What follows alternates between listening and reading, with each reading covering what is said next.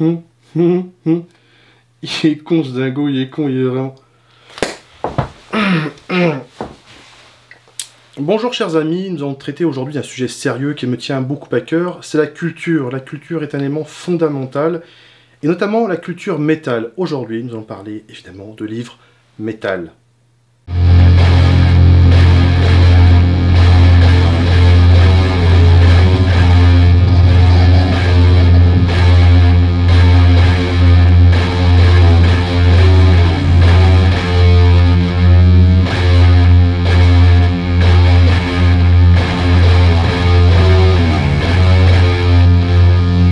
Commence tout de suite par la biographie de Mayhem par Necrobutcher, Mayhem 1984-1994, les archives de la mort.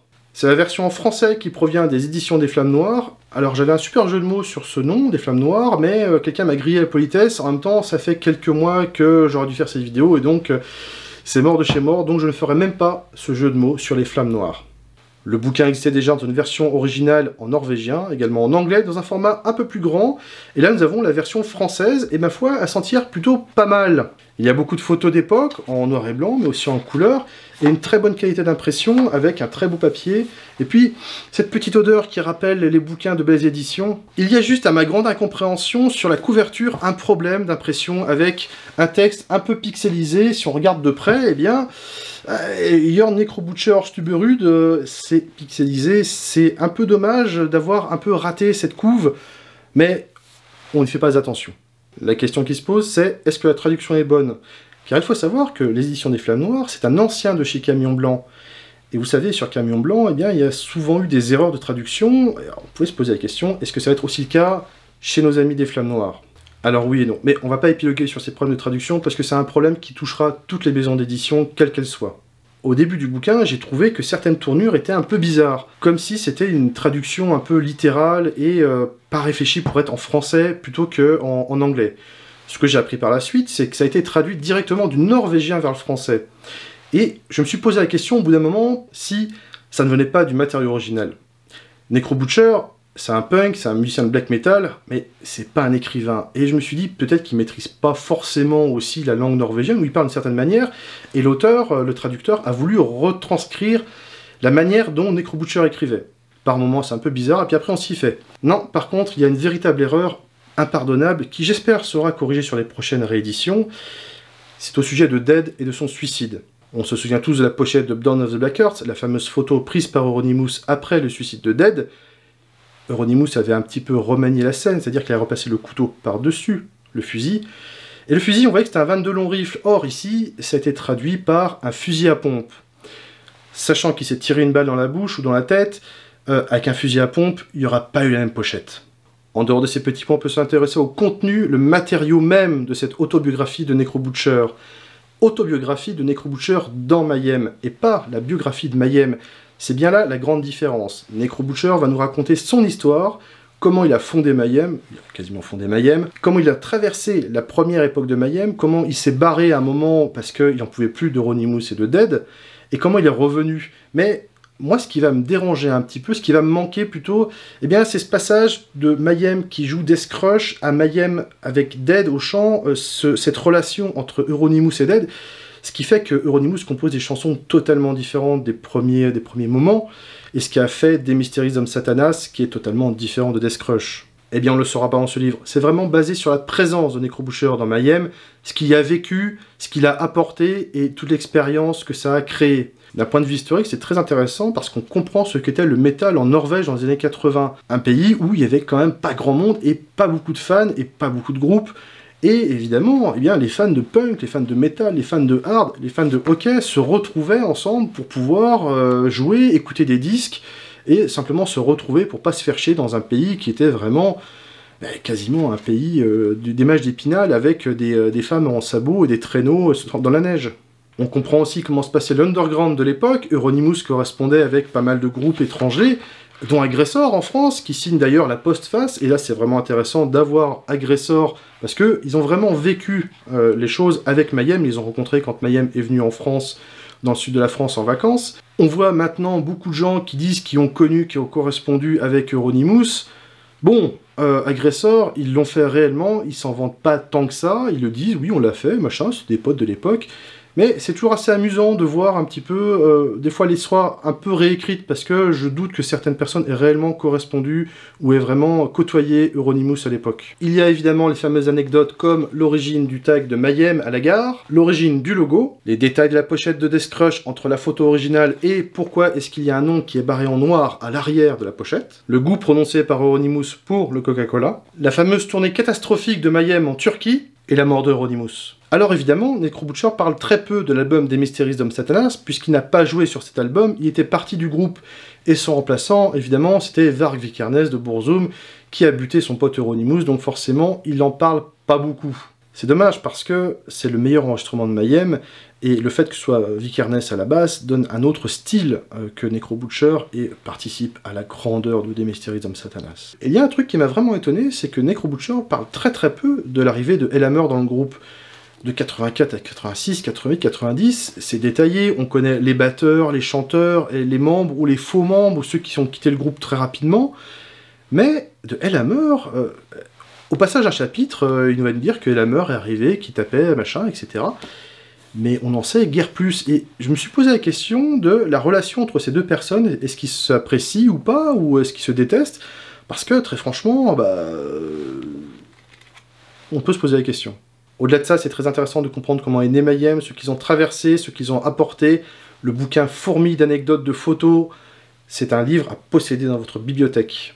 On passe à la biographie de Phil Lynott de Phil Phil Lynott The Rocker par Mark Peterford.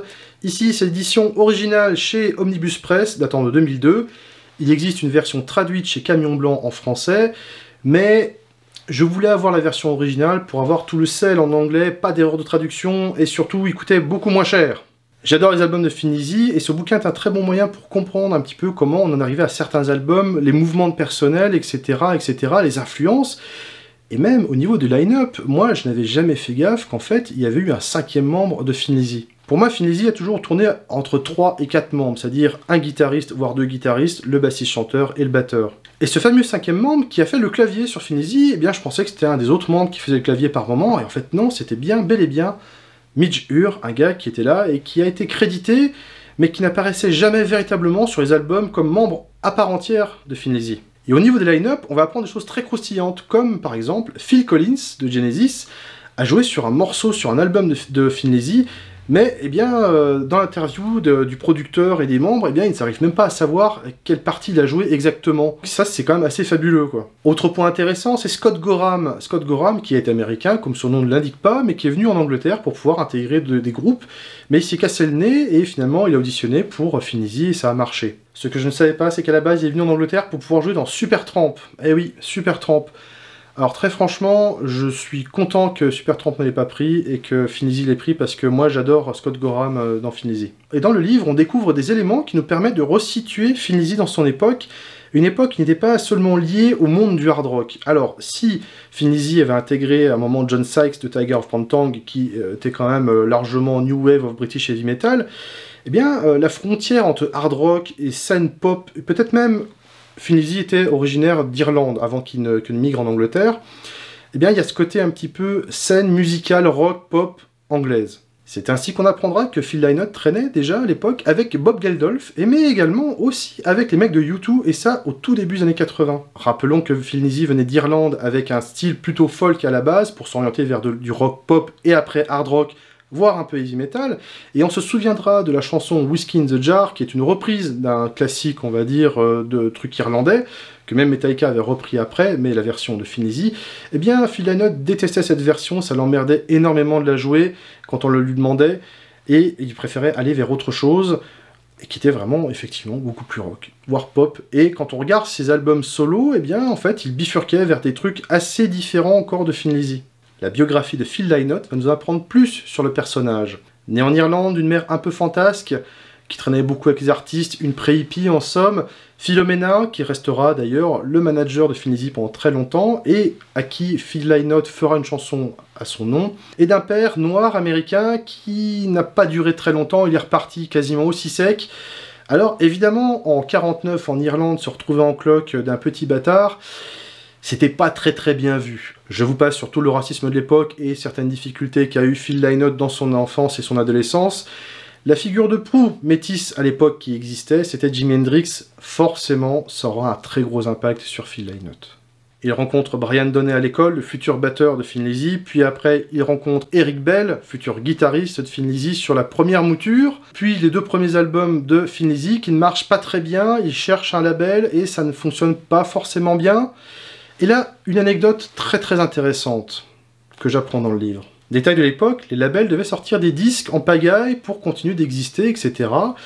Et euh, ben, par exemple, il y avait des disques de reprises. Il pouvait y avoir euh, des, groupes qui faisaient des reprises des Beatles, des groupes qui faisaient des reprises des Rolling Stones, et un label faisait un disque, sortait un disque et vendait ça comme euh, sous le nom quasiment des Beatles, mais c'était de la reprise faite par un petit groupe local. Eh bien, Fin Lizzy, à l'époque, fait la même chose. Ils recrutent un chanteur dans un bar, vraiment le chanteur de Baltringue, quoi, et ils enregistrent des reprises de Deep Purple, et un label sort ça sous le titre de Funky Junction. Et là, j'en tombe un peu dénu, je me dis, bah putain, merde, j'avais jamais entendu parler de ça, c'est incroyable, c'est excellent, mais ça doit avoir une fortune. Alors, je me jette sur Discogs pour regarder un petit peu la cote, et là, je vois que ça coûte que dalle. Je me le procure, et le voilà si ça se trouve, vous êtes déjà passé devant dans une bourse au disque sans jamais vous dire que c'était les mecs de Finlizzy qui étaient là-dessus. Alors la pochette, certes, la photo n'a rien à voir avec le groupe. C'est une évidence. On reconnaît un petit peu le style de Finlizzy parce qu'il y a une basse qui claque et là on ressent quand même Phil Lynott et puis une sorte de, toucher d'Eric de, Bell qui est un peu différent de, forcément de Richie Blackmore. Parmi les reprises, moi je retiens Fireball, euh, Black Knight, Speed King, Strange Kind of Woman et Hush. D'ailleurs, à propos de Hush, le saviez-vous Johnny Hallyday a repris Hush de Deep Purple. De retour à la biographie, on va comprendre les différentes étapes avec le succès qui tarde à arriver, puis qui arrive, les changements de line-up. Eric Bell, Gary Moore, Scott Gorham, Gary Moore, Snowy White, Robo, John Sykes. Et puis il y a la personnalité de Phil Lynott et son évolution au fil des années, avec en lien évidemment la drogue. Phil Lynott est devenu rockstar avec beaucoup de facilité pour trouver de la drogue. D'ailleurs, il y a deux trois anecdotes assez amusantes sur le fait de pouvoir choper de la drogue à droite à gauche, etc.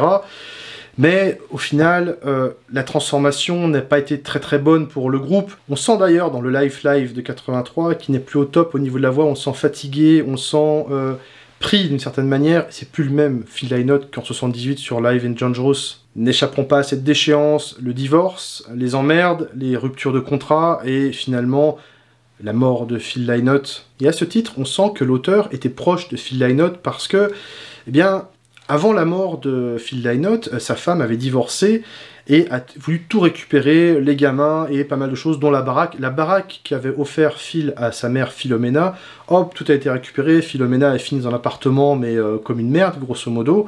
Et ça, l'auteur, il ne se gêne pas pour le dire, pour dire, bah c'est une grosse salope. en gros, on va la résumer comme ça. Et il y a une anecdote assez amusante dans cette tragédie. Euh, à la maison de disques, il y avait une, standardiste, une petite nana, qui travaillait là, mais vraiment euh, au bas de l'échelle. Elle a fait croire qu'elle était une proche, mais vraiment très proche de Phil Et là, les vrais proches de Phil Lynott, ça, ils l'ont très très mal pris.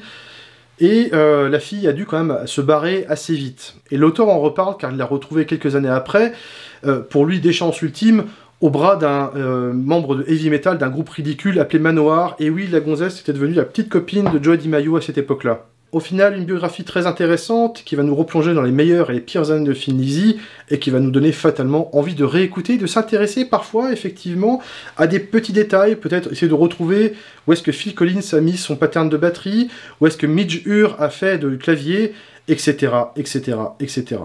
En tout bon collectionneur de disques métal, vous êtes forcément déjà tombé avec ce type de macaron. Forcément, si vous avez un Venom à Warfare, vous avez ce type de macaron de Neat Records. Le troisième livre de cet épisode porte sur Neat Records. Il s'intitule Neat and Tidy. Il est écrit par John Tucker chez Iron Pages Books. Je vous préviens tout de suite, ce livre est en version originale, en anglais. Il n'est pas traduit et je doute qu'il le soit un jour parce qu'il est quand même assez pointu et ça intéressera quand même pas vraiment grand monde. Au final, il faut l'avouer. Le livre reprend l'histoire de Neat Records sur plus de 350 pages Alors évidemment, sur ces 350 pages, ça va pas parler boulot énormément sur euh, comment le label menait ses affaires. Il y a évidemment beaucoup de place allouée aux groupes qui ont sorti des disques sur Nit Records. Nit Records, à la base, c'était un studio d'enregistrement qui appartenait au père du mec de Nit Records. Il a récupéré le truc.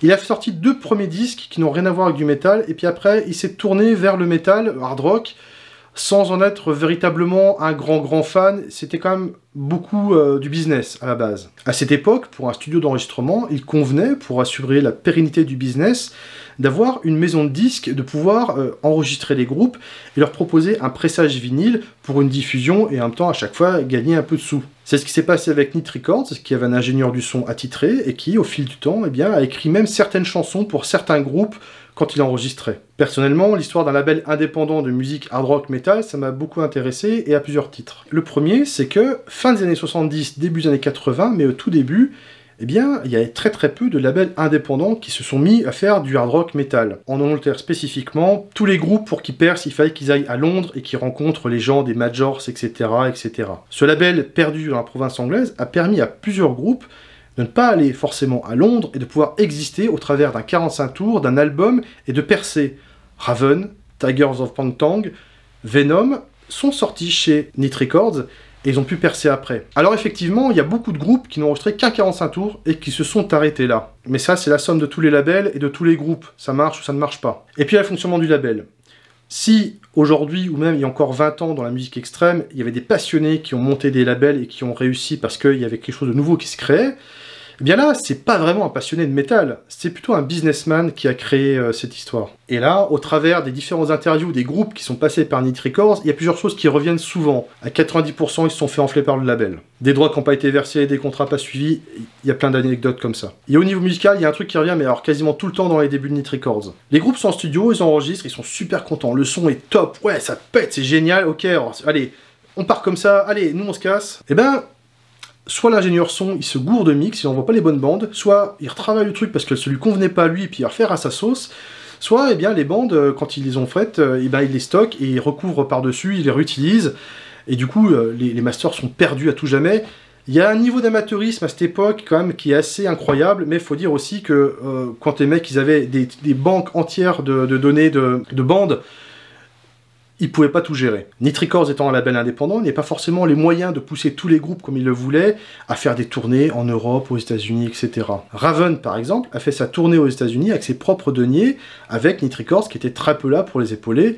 Nitricors qui a aussi sous-traité à Megaforce aux États-Unis. Ils ont sous-traité également avec d'autres pays, comme vous pouvez le voir sur vos disques, avec Bernet pour la France, avec Roadrunner pour la Hollande. Et il y a une chose qui revient aussi, ce sont les groupes qui ne tiennent pas la rampe. Ils s'arrêtent après un premier 45 tours, un premier album, ils se battent entre eux, ils arrivent en studio, ils sont bourrés, ils n'arrivent pas à faire. Bon, bref, tout ça n'a pas changé. Et pour finir sur le côté un peu business, un truc qui a marché beaucoup pour Nit Records, c'est qu'ils se sont lancés tout de suite dans la VPC et sortir euh, des badges, des cartes postales, des conneries qu'ils ont fournies avec les disques. On va retrouver des facsimilés des pubs de Nit Records dans lesquels ils proposaient tout leur catalogue, plus des choses, des fois des, cassettes singles, parce qu'ils n'avaient pas assez de sous pour faire des, presser des, 45 tours singles. Alors ils pressaient des cassettes singles qu'ils envoyaient des fois gratuitement. Ils ont fait également des versions vinyles de couleur, et avec Venom, ils ont décliné ça, mais il faut dire aussi que Chronos travaillait chez Nit Records, il travaillait avec l'ingé son et parfois aussi au niveau du stock, il a pu aider comme ça des groupes. Un truc qui m'a un peu fait marrer, c'est que euh, il y avait des pertes, des, disparitions dans le local en fait des disques où les disques étaient stockés. Et ça s'est arrêté quand ils ont mis un cadenas sur la porte. Le bouquin a l'occasion de retrouver une biographie de tous les groupes qui sont passés par Nit Records, avec plus ou moins de succès. Moi, alors en anglais, il n'est pas forcément évident à lire. Je pense que le Finlay est plus facile à lire que celui-ci. Il y a des passages je, me suis un peu endormi, enfin j'ai un peu passé vite parce que les groupes ne sont pas forcément chapitrés. Quand on va passer de Tyson Dog à Avenger, euh, avec les noms des mecs, des fois les noms des, personnes, des musiciens sont cités plus que le nom des groupes, et on passe d'un chapitre à l'autre, d'un groupe à l'autre.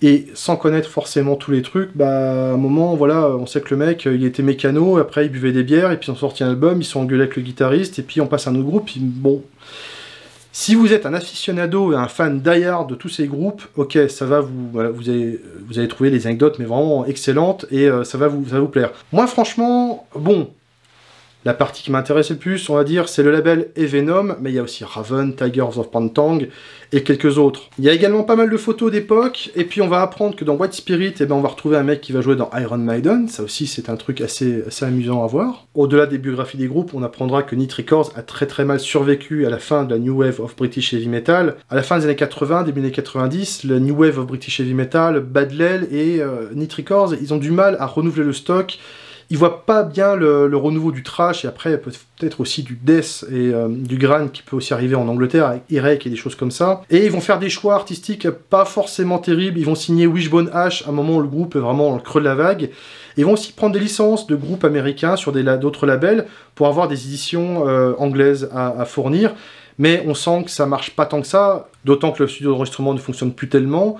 Au fil des employés, Nit Records va revendre une partie de son catalogue et un employé va monter Nit Metal Records pour recentrer un peu sur la partie métal, mais ça ne marche plus vraiment. Il faut le dire, ça ne marche plus vraiment. Et au final, ils vont revendre tout le catalogue à différents labels, etc.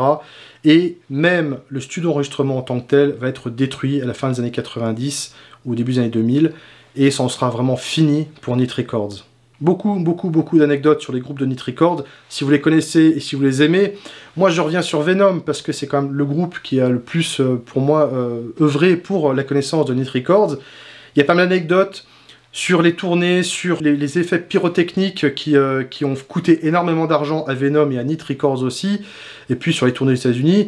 Et puis il y, a une anecdote, alors je, vous réserve celle-là, je vous l'ai dit, Chronos a travaillé pour Nit Records. Ce qu'il faut savoir, c'est que sur les premiers albums, c'est lui qui a fait les dessins sur Black Metal, sur Welcome to Hell et At War with Satan et il n'était pas crédité. Si vous regardez les crédits, c'est marqué Artworks by Magda. Au début, Chronos n'a pas fait gaffe. Au bout d'un moment, il s'est dit, ben merde, euh, c'est moi qui ai fait, et puis l'argent il tombe pas. Magda, c'est la fille qui faisait les layouts euh, chez Nit Records, et euh, il a demandé, puis il a dit, oh non, non, parce qu'elle recevait un peu, de, un peu de pognon quand même. Et du coup, il l'a mis en procès, et du coup, bah, ça s'est un peu réglé, sauf que, eh bien, elle a détruit toutes les œuvres originales pour se venger, elle a disparu, voilà. Et donc, bah, tant pis, il n'y a plus d'œuvres originales.